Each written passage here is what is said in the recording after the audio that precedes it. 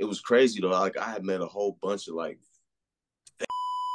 you know, what I mean, notorious, like in the feds and shit. Wesley Snipes. Shout out to Wesley Snipes. Mm-hmm. You was in Michael jail with him? Vick. Yeah, Michael Vick. Hold on, hold on. That's hold on, right. Hold That's on, right. hold on, hold on. Let's go Yeah. to Wesley Snipes. Wesley Snipes is an unusual guy. So what was the conversation with him? Like, how was he? Yo, that nigga's funny. You know what I'm saying? But when you in the feds and shit, they ain't acting like they, you know what I'm saying? Like they ain't acting like that in there. You know what I'm saying? Everybody's the coolest nigga that I met in the feds was Vick, Mike Vick. That nigga was doing his dan- his janitor job. You know what I'm saying? And just being just a regular. And I got to kick it with the nigga a lot. Um, he was real humble. You know what I'm saying? Wesley was real humble, funny. Ass, you know what I'm saying? Just yo, what up? No, no. You know what I'm saying? He It was wasn't on scary none? PC none? Nah, nah.